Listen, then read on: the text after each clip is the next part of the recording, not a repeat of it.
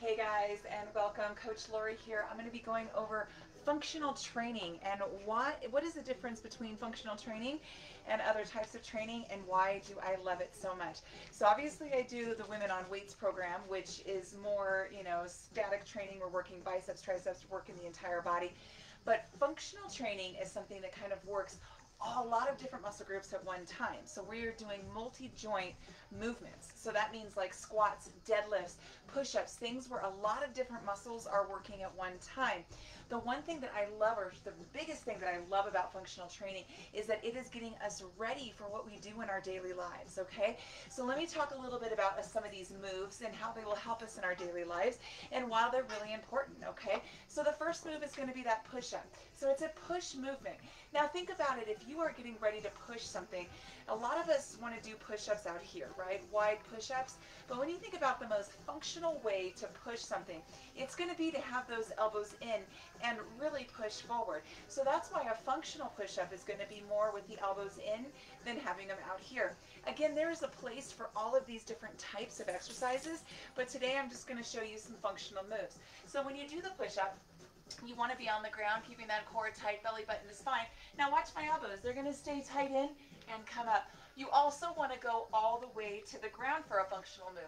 Because here's the deal as well. If I go to here on a push-up, all I'm really getting is an elbow joint. I'm not getting full range of motion, so all the muscles are working at once. So you really want to get the chest all the way down to the ground and then come back up. And again, just visualize pushing something. What would be the best way to make that push? Is it going to be to have those elbows out here or to have the elbows here? Same thing goes for the squat. Now everybody knows what a squat is. It is functional because obviously every single day we're going to go to sit down or we go down and we need to get back up. One of the things that a lot of people, and it used to kind of be old school thinking, is that you squat only, and you don't, you only want to go to 90, but no lower, okay, because it's going to hurt your knees. A lot of people with knee pain stay away from squats. Now, if your doctor says to do that, perfectly fine, that makes sense. But here's the deal. A lot of times, I used to deal with knee pain as well. And a lot of times it means that we are just not going low enough in that squat. When you think about when you're going down to a squat, you're keeping that core tight, right? And you're going to be here. But here's the deal. If I stop right here in my squat, I'm putting tons of pressure on my knee. Even if I stop here, there's still pressure on that knee. But if I go down to a full squat, and then come back up, then it starts to engage the glutes, the hamstrings, quads, all of that good stuff, and it relieves the pressure off the knees. Another thing, thinking about functionality, is that in reality, you're going to be needing to go down and sit on something and then come back up. But also, you could be on the ground, right, and needing to come up. So why would we want to only squat to here? Why not squat as far down as we can and make that happen? Yes. Awesome. Awesome, Luana. That's great. Thank you for sharing, girl. All right, so here's the deal. Yes, we did a functional training before.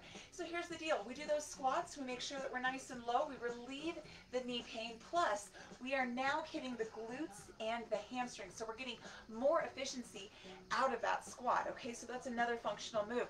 Think about another functional move is going to be that deadlift where we hinge at the hips to pick up, keeping that core tight, reaching down for something and then coming back up. You're hitting multiple joints on that as well.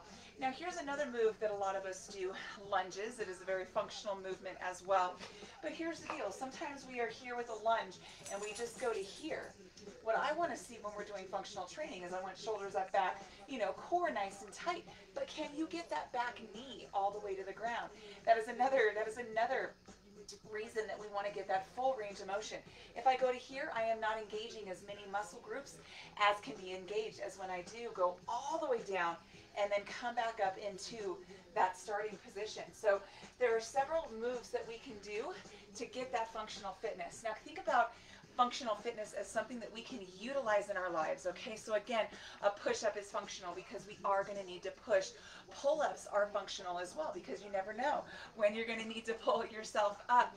We have squats that are nice and functional. Make sure that we are getting nice and low in that functional training for your daily life once again.